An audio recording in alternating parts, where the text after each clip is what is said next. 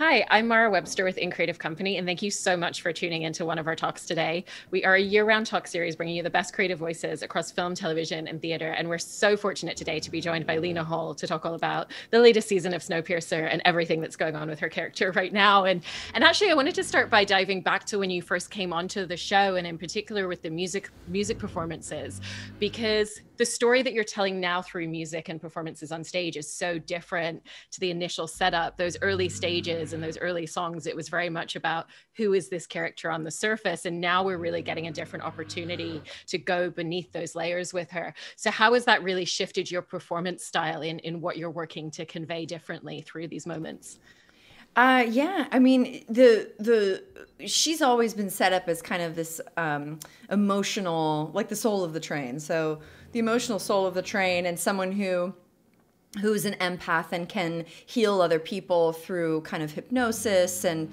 all of that good stuff and be be a beacon of hope for everyone or and a place to have a therapist essentially um, and uh, but she has not done anything for herself so she is taking on everyone else's problems but her own, and her problems are facing her head on. And what I love about all the song selections and the music choices uh, that they have for her performances specifically is they all kind of echo um, mo- the moment in time. So in season one, the opening was "Say It Ain't So, Joe," uh, the loss and the sadness. We're all there. We're all there together, and we're kind of sorry. We're kind of talking about. Um, you know the the the what Wilford had promised and didn't deliver, um, or or what Wilford had promised and how we're still stuck in this frozen planet and on this train and we never know when we're gonna get off.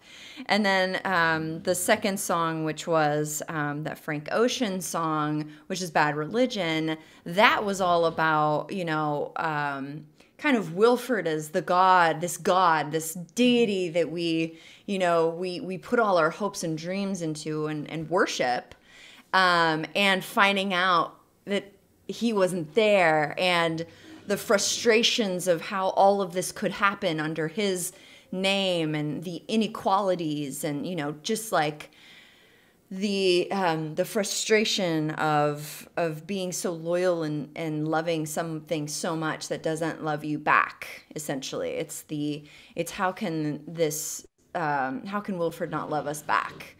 Uh, and then of course now in on on season two and episode four um, it's less about everyone and it, the song reflects more about what's going on with her. So i sang glory box from portishead and it's about this abusive relationship that she's kind of forced to um, explore again for the good of the train um, and maybe for the good of her own closure. But she's done no work at all on herself, so is not prepared to face Wilford head on and face what he brings out in her and what she brings out in him and their very, very dark and lengthy past. so it's a great, um, the pain of the past and the um, the uh, the desire not to fall back into it, and the also the helplessness of fe- the feeling that you get that she gets when she's faced with her abuser. So that's what it is, and um, it's very complex. And I love that you were bringing up the the fact that she is very much an empath and is very much there to help other people process their pain and their trauma while not really processing her own, you know, which has been the case throughout the entire show up until this point with what she's being confronted with at the moment. Um, and how how have you thought about that in a lot of nuanced ways? Because I think you you beautifully pull that into your performance and what it really takes that she has to give of herself to do that for other people so consistently. Yeah, it it weighs it weighs on you. There's, you know, there's only so much that you can give if you don't take care of yourself. This is what self-care is literally all about. If you do not take care of yourself, you cannot take care of others. And this is this is the purest form of that. She's overextended herself to everyone else but herself. And, you know, she found a greater cause and found a greater purpose on the train and joined the revolution and uh but in being this hero or trying to be this hero for everyone, she has uh, she has definitely taken on too much and it's become it and it it's she's she's coming from so now facing Wilford she's coming from a very weakened place um, where she does not have it together and uh, you can see her spiral very very quickly in episode one two and three uh, to where she's getting back into her old habits getting really drunk and trying to deal with deal with Wilford being there um, in any way she knows how, which is substance abuse, and uh, and um, and she doesn't really have anyone to confide in, and she doesn't really have anyone um, who's there for her. She she needs a hug. She needs someone there. She needs someone to look after her, and instead she's asked to do more, and um, and she doesn't know how to ask for help for herself either. So it is on her as well. Well, there's also the fact that, you know, she's physically living in a space where she can never escape him, even when he hasn't been there the entire time. You know, there's W's every single place that she looks. And and there's a lot of moments where you catch you catch these like great inflections in your eye, just kind of flipping over and processing it and then coming back to the conversation that you're in in the season. And and even just the fact that her body is a reminder because of the scar that she carries, which, you know, on her arm is a part of her body that she's going to see every single day mm-hmm. consistently. Mm-hmm um, so, how have you found different ways to really capture what that does to her emotionally and the fact that she physically can never escape his presence, whether he's there or not in her life? Yeah, it's one of those things like when you've been abused or been in an abusive relationship, it's extremely difficult. It's something you cannot forget, and um, and it is around with you all the time, and no matter how far you try to run. Um, she I'm lucky because uh, they looked into my past, like my past, Lena Hall's past, and they found that I was a dancer once upon a time when I was younger. And um, them writing that in uh, really helped me convey the um, the the pain and anguish and the the torture. I mean, I, that was the first way I learned how to uh, emote and express myself was through dance and physicality. Um, I'd been a dancer since I was born, essentially. So um, for them to allow me to dance and it be the top and the tail of, of um, episode four, I think it really tells her journey and her struggle and her pain and the reminders, especially um, at the end of uh, the episode four when I'm seated and I'm looking at that W, and it's just all there, and it, you know, kind of comes into play. Um, she also another way that she deals with all of this is um, by what she's wearing and makeup and hair and becoming a different person, um, trying to mask the real person that's on the inside.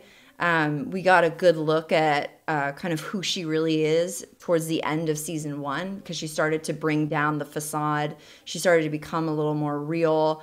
Um, but she still wears a really tight corset to keep it together you know? Um, she and also as for her armor uh, as another way to kind of protect herself. So there are many many ways that she's express like that she's um, trying to protect herself and hide um, what's going on. Uh, and a lot of it is lots of makeup and hair and just anything but to see who she really is because i think she she's embarrassed and um, she doesn't like who she was. And uh, she's trying to become someone else. But um, but it's very it's very hard to move on when you're just covering it up. Uh, uh, unfortunately we it's much takes a lot more work to to move forward from something than to just pile on the armor essentially and then I wanted to talk about some of the specifics of, of the way that you bring forth these musical performances because there's differences to performing on screen and performing musically in theater. You know, in theater, you're having to reach the person who's right at the back of the furthest away seat, you know,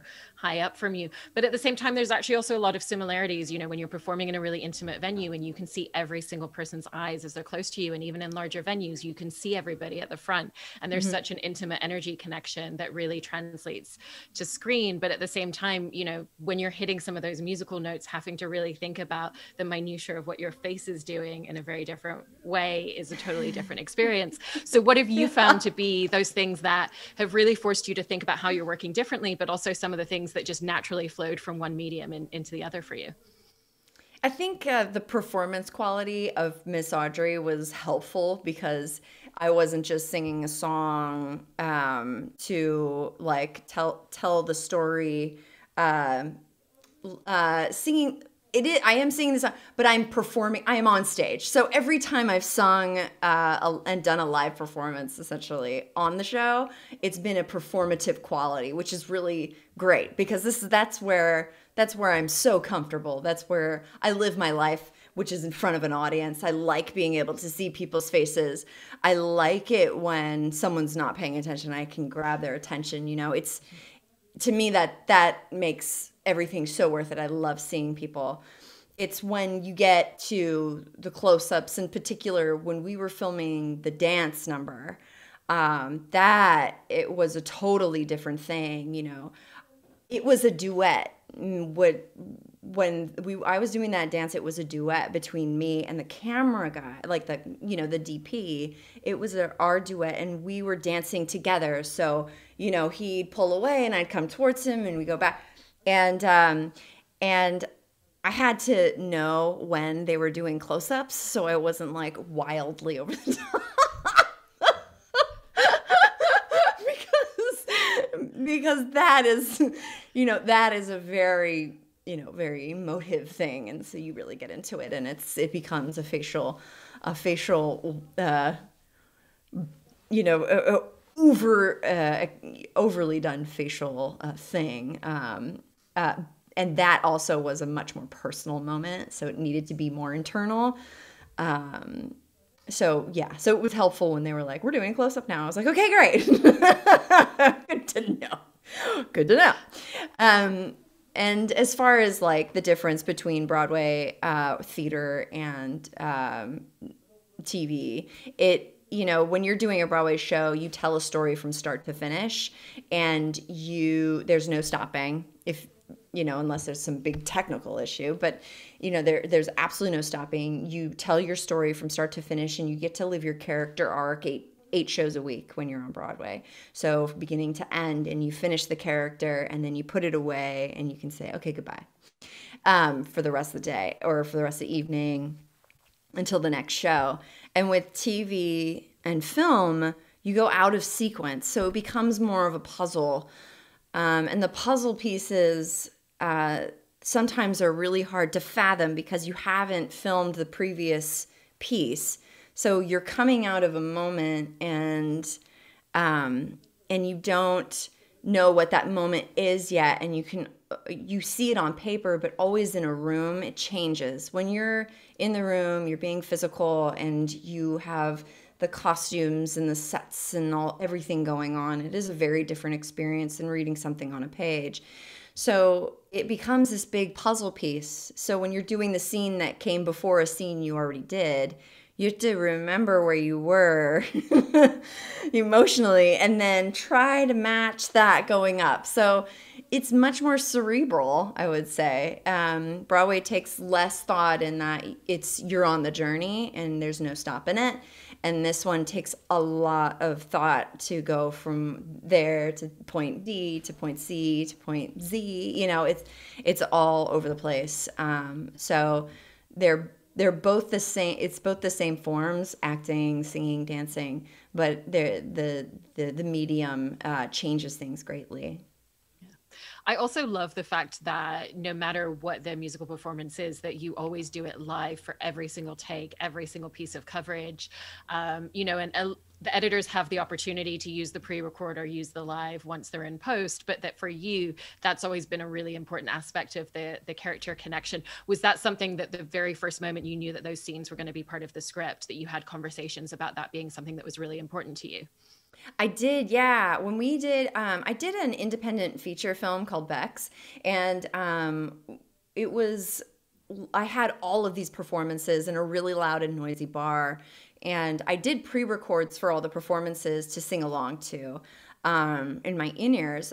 But when it came to the day of filming, I was, you know, I was like, well, I hope that you can get a really good sound because I would prefer for it to be the live performance and any you know all of the live because it's just it makes a huge difference to me in my eyes and my ears when I'm watching something that's sung live as opposed to something that's a pre-record that's no matter how well it's lip, like lip sync it I can always tell you know that there's there's a difference between singing something in a studio and singing something in the moment emotionally when you're there you know it's hard to recreate again.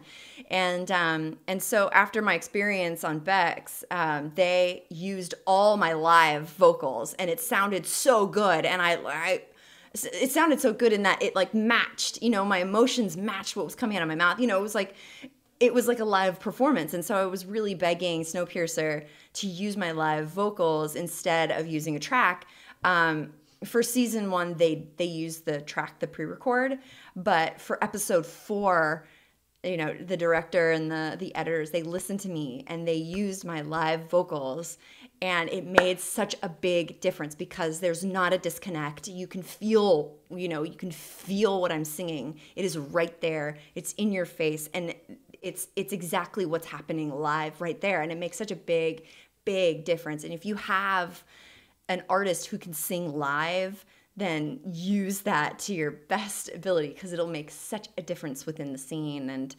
um, and I'm so thrilled that they did that because for me, it it just it when you hear a singer live, there's all these you know little things, little keys, you know like little off notes or, or dirt or crack or there's things within it that bring so much color to um, to the performance and so much emotion to a performance that that is what's so important to me.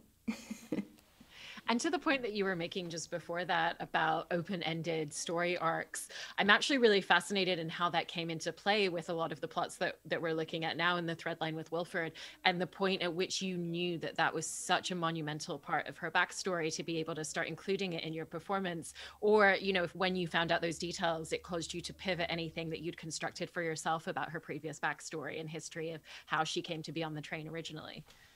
Yeah, I mean, you know, I didn't realize, but like when you come into an episodic, it's it's not all figured out. Like Miss Audrey changed and she adjusted, and it actually shows a really cool journey.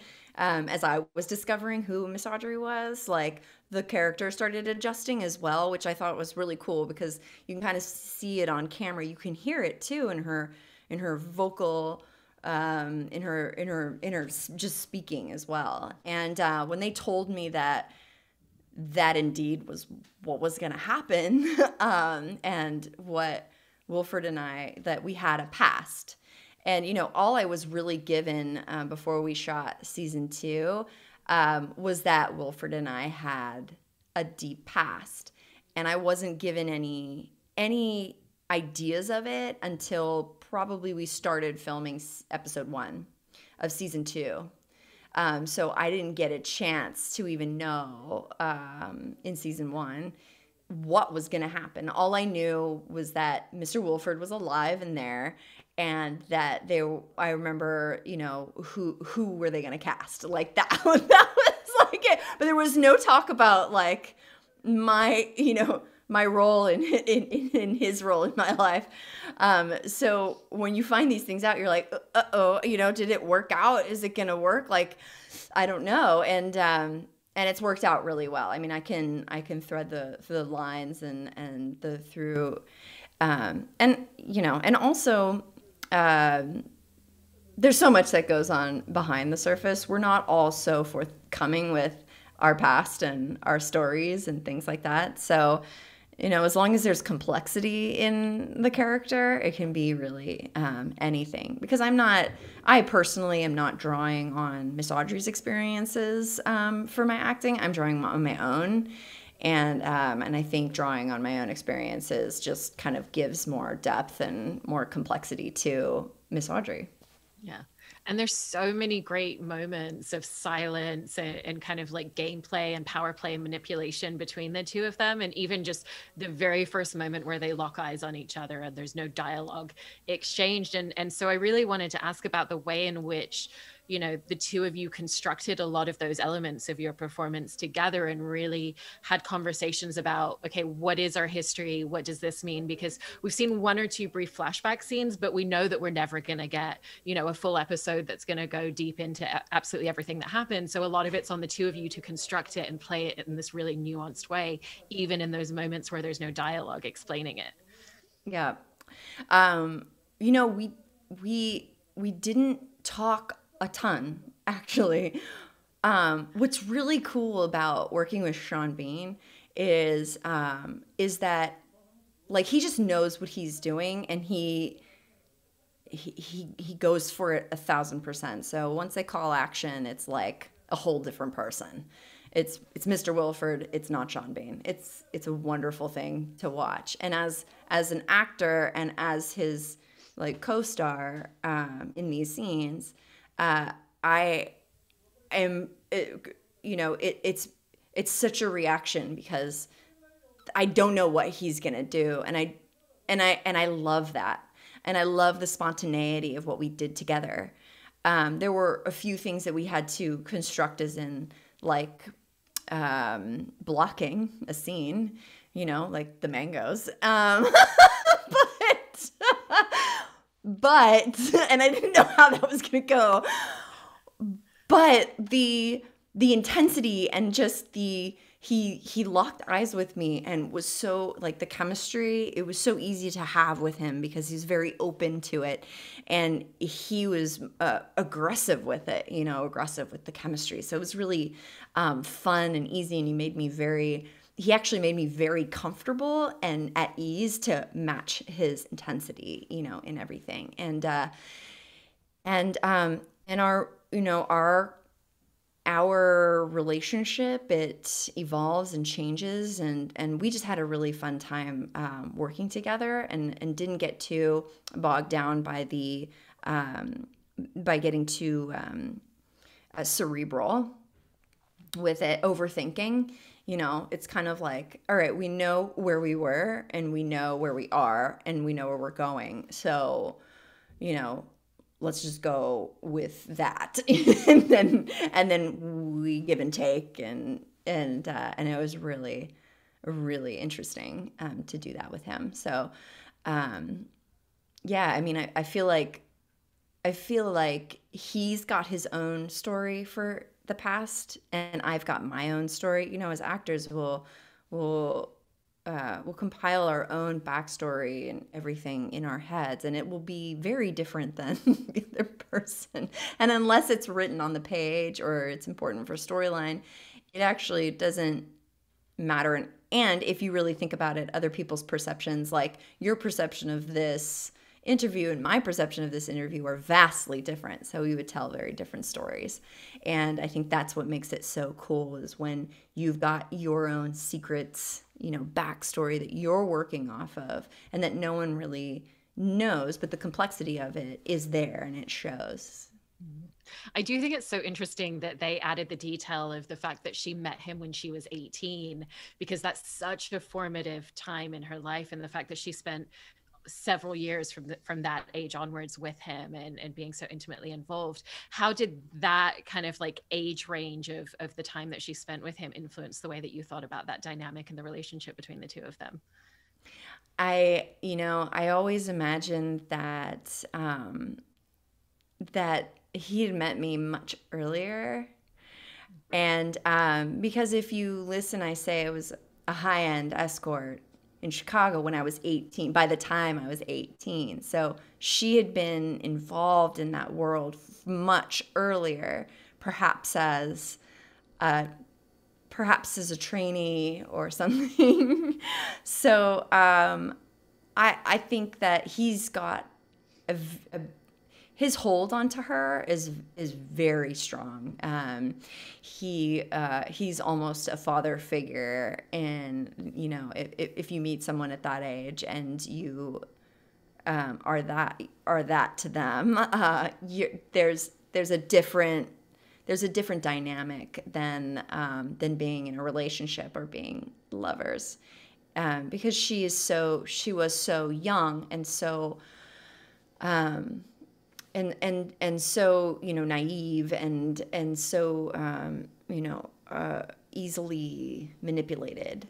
Um, she didn't know any better, uh, and this life to her seemed like the life to lead.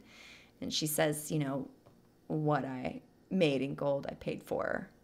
I paid for in other ways uh, that were really bad, and so, um, so to me, that story goes much further back than 18. And, uh, and, um, yeah, yeah. and with the fact that this is your first series regular role on, on a on a show and and with all of the beautiful complexities you're getting the opportunity to extrapolate in the second season what do you feel like you've really had the opportunity to learn about yourself as an actor through all of this experience so far I didn't know I could do it. I was so scared.